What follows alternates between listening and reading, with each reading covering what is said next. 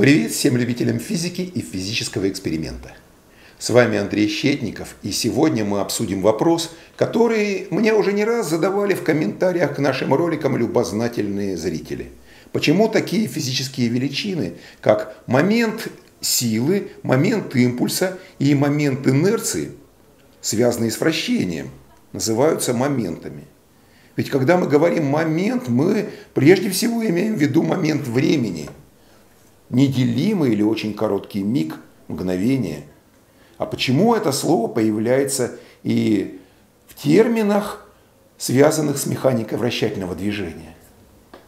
И чтобы ответить на этот вопрос, нам надо обратиться к истории античной механики, которую развивал с одной стороны Аристотель в своей физике, а с другой Архимед. Аристотель обсуждает причину, по которой тяжелые тела стремятся вниз, к центру Земли, а легкие, наоборот, стремятся подниматься вверх. А еще в сочинении Аристотелевской школы «Механические проблемы» была сделана попытка объяснить, как работает рычаг, который для античных механиков, конечно же, был главной машиной, которой они пытались свести действия всех других машин. Ну, в свою очередь, Архимед, который был, конечно же, величайшим математиком и механиком древности. Известен в том числе тем, что он построил учение о равновесии рычага и о центрах тяжести э, плоских фигур, изложив это учение по образцу геометрических теорем Евклида. И поскольку древние греки были самыми первыми, кто попытался построить математическую теорию рычага, в этих сочинениях мы находим систему понятий, проистекающую из естественного разговорного языка. А к нашему предмету в ней относится прежде всего такое слово, как «ропе», которое не так просто перевести на современные языки, потому что оно не является физическим термином, ну вот в нашем современном понимании. Вот это ропе у Аристотеля – это естественное стремление или рвение тяжелых тел падать вниз к центру Земли, а легких тел подниматься вверх. А в статике, э, причем что у Аристотеля, что у Архимеда, рапе – это стремление груза перевернуть э, рычаг в свою сторону. И это стремление, как мы все понимаем, зависит не только от веса груза, но и от его положение на рычаге. Ну и поэтому в средневековых трактатах по механике это слово «ропе» переводили на латынь как «gravitas secundum situs», то есть тяжесть сообразно положению. Тяжесть здесь остается. Но это не наша сила тяжести. Э, и когда два неравных груза уравновешивают друг друга на неравных плечах, наступает то, что по-гречески называется изорапия. Вот такое равновесие или равносклонность, равноустремленность. Ну и, соответственно, то, что мы называем э, в нашей физике центром тяжести, э, значит, грек называет центром равновесия вот такой «кентрон тес ропес». И если тело подвешено за центр равновесия, то ропе его частей с той и с другой стороны оказывается равным. И надо понимать, что ропе – это еще не наш момент, который мы считаем равным произведению силы на плечо. А когда грузов много, мы суммируем такие произведения, э, вот, связанные с каждым грузом. Вот греческое ропе – это еще не количество, которое можно суммировать.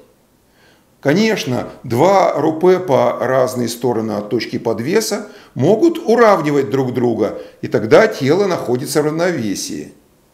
А могут быть неравными, и тогда одна его сторона, одна половина перевешивает другую.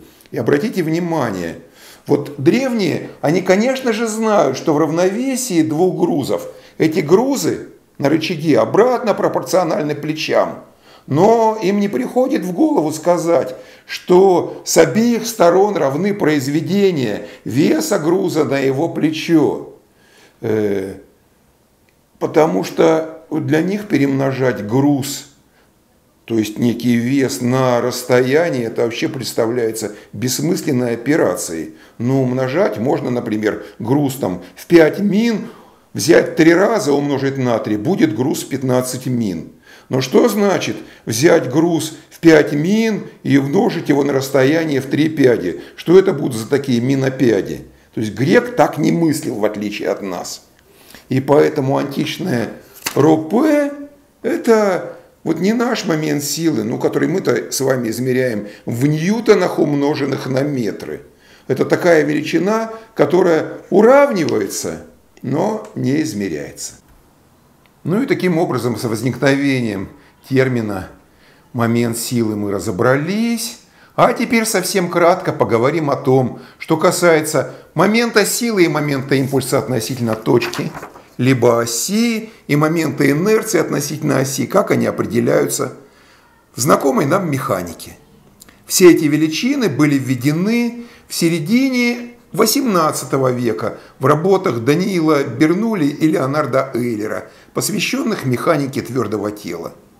А представлять момент силы и момент импульса направленными отрезками предложил в начале XIX века Луи Пуансо потому что с так представленными моментами удобно оперировать при построении теории.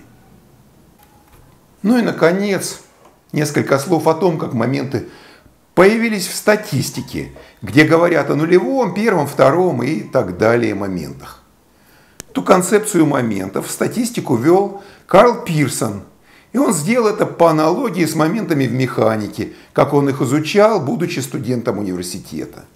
Моменты в статистике – это интегралы от некоторого распределения случайной величины f от x, свернутого с x э, в катой степени. Первый момент – это математическое ожидание или среднее значение величины, и ему соответствует положение центра тяжести.